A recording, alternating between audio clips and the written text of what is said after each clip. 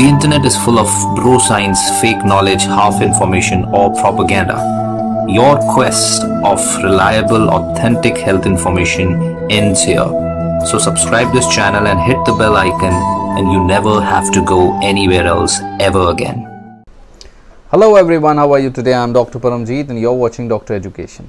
We are going to talk today about how does Ramzan, Ramadan fasting or intermittent fasting affect your body. So this is the acute change which happens during these times, right? So what happens during fasting hours when you are not taking any food or drinks, right? Your body first consumes all the calories from whatever food you have consumed during the night, right? Once these calories have been used up, then your body uses the carbohydrate stores which is in the form of glycogen in your liver and your muscle.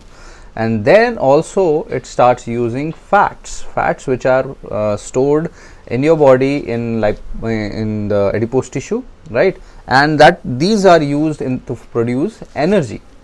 One more important thing is that your body cannot actually store water in the form of water right? So what happens when you don't take water your kidneys conserve as much as water as possible by reducing the amount of urine.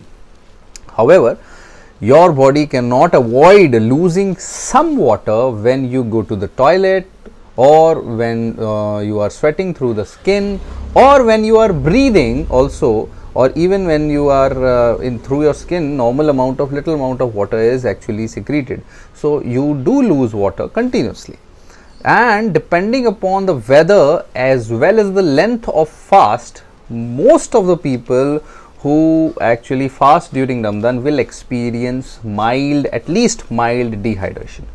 This mild dehydration will cause headaches, headache, tiredness, and difficulty in concentrating.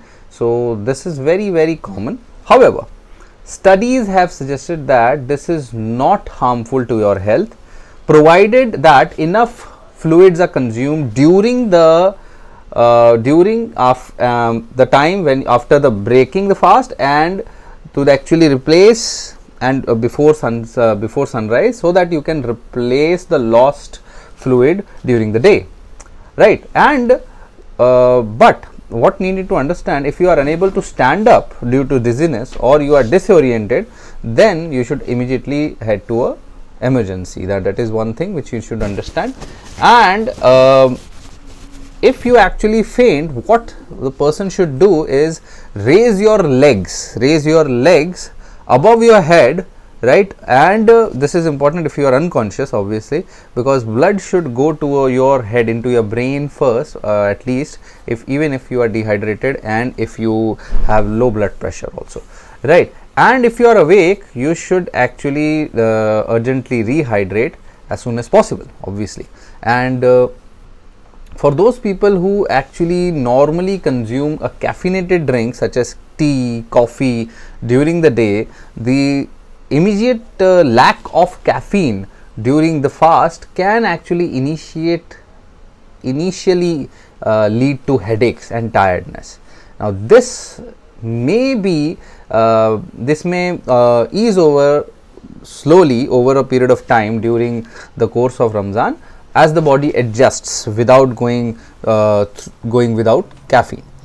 And once the day uh, when the once the fast is broken the body can actually rehydrate and gain energy from the food and the drinks which are consumed. However uh, because you have not eaten for a long time you may find it helpful to eat slowly right? Slowly when actually breaking the fast and to start with plenty of fluids a lot of fluids low fat uh, fluid rich foods like like fluid rich fruits right? And uh, as well as uh, such as uh, vegetables soups stews. It is very important to replace the fluid loss during the day and to start the next day uh, fasting also you need you know pre-hydration. You need to stay well hydrated right? See salt basically stimulates thirst. And so it is not a good idea to uh, eat a lot of salty foods. And uh, pre-dawn meals like basically suhoor basically provides the fluids and energy for the day of fasting ahead. So making a healthy choice uh, in this time is very important can help you cope better with this fast. So then iftar meals are often the time for celebration and uh, with these are done with families. When families come together to break their fast and it is important not to go overboard when eating during this time.